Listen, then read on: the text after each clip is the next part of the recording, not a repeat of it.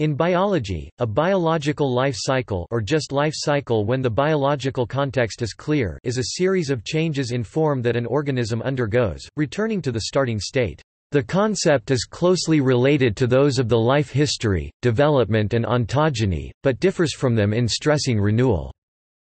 Transitions of form may involve growth, asexual reproduction, or sexual reproduction. In some organisms, different generations of the species succeed each other during the life cycle. For plants and many algae, there are two multicellular stages, and the life cycle is referred to as alternation of generations. The term life history is often used, particularly for organisms such as the red algae which have three multicellular stages or more, rather than two. Life cycles that include sexual reproduction involve alternating haploid N and diploid 2N stages, i.e., a change of ploidy is involved. To return from a diploid stage to a haploid stage, meiosis must occur. In regard to changes of ploidy, there are three types of cycles. Haplontic life cycle. The haploid stage is multicellular and the diploid stage is a single cell. Meiosis is zygotic. Diplontic life cycle. The diploid stage is multicellular and haploid gametes are formed. Meiosis is gametic. Haplodiplontic life cycle also referred to as diplohaplontic, diplobiontic, or dibiontic life cycle. Multicellular diploid and haploid stages occur. Meiosis is sporic. The cycles differ in when mitosis growth occurs. Zygotic meiosis and gametic meiosis have one meiotic stage. Mitosis occurs during the N phase in zygotic meiosis and during the 2N phase in gametic meiosis. Therefore, zygotic and gametic meiosis are collectively termed haplobiontic single meiotic phase, not to be confused with haplontic. Sporic meiosis, on the other hand, has mitosis in two stages, both the diploid and haploid stages, termed diplobiontic not to be confused with diplontic.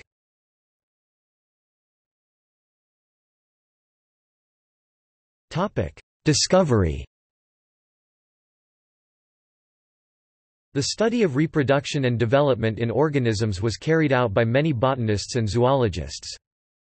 Wilhelm Hofmeister demonstrated that alternation of generations is a feature that unites plants, and published this result in 1851 see plant sexuality.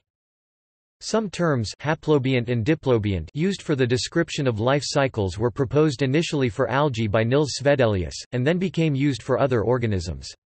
Other terms autogamy and gamontogamy used in protist life cycles were introduced by Carl Gottlieb Grell. The description of the complex life cycles of various organisms contributed to the disproof of the ideas of spontaneous generation in the 1840s and 1850s.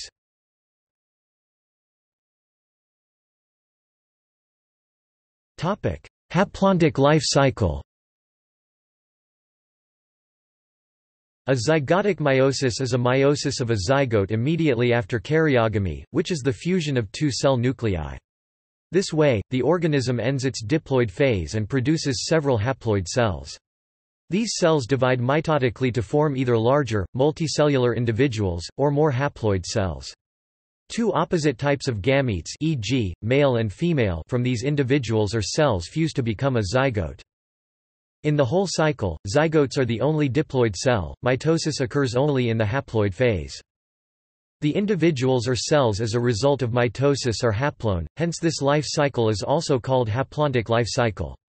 Haplone are in archaeplastidans, some green algae e.g., Chlamydomonas, Zygnema, Chara In stramenopiles, some golden algae in alveolates, many dinoflagellates e.g. Ceratium, Gymnodinium, some apicomplexans e.g.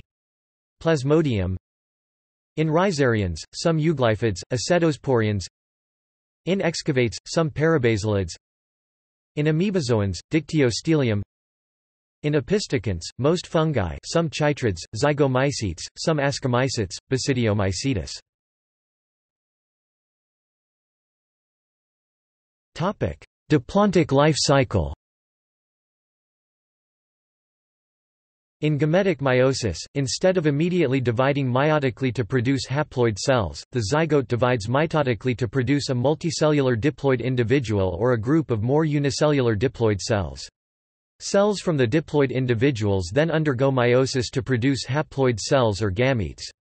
Haploid cells may divide again by mitosis to form more haploid cells, as in many yeasts, but the haploid phase is not the predominant life cycle phase. In most diplone, mitosis occurs only in the diploid phase, i.e. gametes usually form quickly and fuse to produce diploid zygotes. In the whole cycle, gametes are usually the only haploid cells, and mitosis usually occurs only in the diploid phase. The diploid multicellular individual is a diplo, hence a gametic meiosis is also called a diplontic life cycle. Diplone are in archaeplastidans, some green algae e.g., Cladophora glomerata, acetabularia in stramenopiles, some brown algae the fucales, however, their life cycle can also be interpreted as strongly heteromorphic diplohaplontic, with a highly reduced gametophyte phase, as in the flowering plants, some xanthophytes e.g., Vaucheria, most diatoms, some oomycetes e.g., Saprolegnia, Plasmopara viticola, opalines, some heliozoans e.g., Actinophrys, Actinosphaerium in alveolates, ciliates in excavates, some parabasalids in opisthokonts, animals, some fungi e.g. some ascomycetes. Topic: Haplodiplontic life cycle. In sporic meiosis also commonly known as intermediary meiosis, the zygote divides mitotically to produce a multicellular diploid sporophyte. The sporophyte creates spores via meiosis which also then divide mitotically producing haploid individuals called gametophytes. The gametophytes produce gametes via mitosis. In some plants the gametophyte is not only small-sized but also short-lived, in other plants and many algae, the gametophyte is the dominant stage of the life cycle. Haplodiplonts are in archaeplastidans, red algae which have two sporophyte generations, some green algae e.g., ulva, land plants. In stramenopiles, most brown algae. In rhizarians, many foraminiferans, plasmodiophoromycetes In amoebozoa, myxogastrids In opisthokonts, some fungi some chytrids, some ascomycetes like the brewer's yeast other eukaryotes, haptophytes some animals have a sex determination system called haplodiploid, but this is not related to the haplodiplontic life cycle.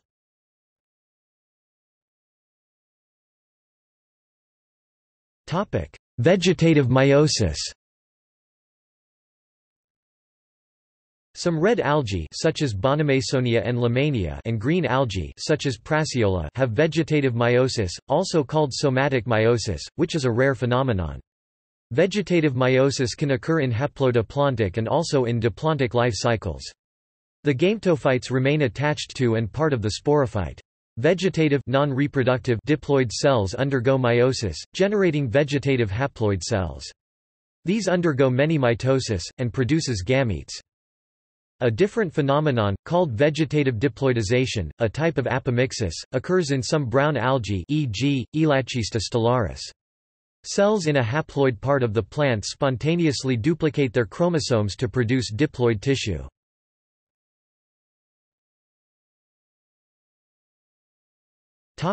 Evolution The primitive type of life cycle probably had haploid individuals with asexual reproduction. Bacteria and archaea exhibit a life cycle like this, and some eukaryotes apparently do too e.g., Cryptophyta, Choanoflagellata, many euglenozoa, many amoebozoa, some red algae, some green algae, the imperfect fungi, some rotifers and many other groups, not necessarily haploid. However, these eukaryotes probably are not primitively asexual, but have lost their sexual reproduction, or it just was not observed yet. Many eukaryotes including animals and plants exhibit asexual reproduction, which may be facultative or obligate in the life cycle, with sexual reproduction occurring more or less frequently. See also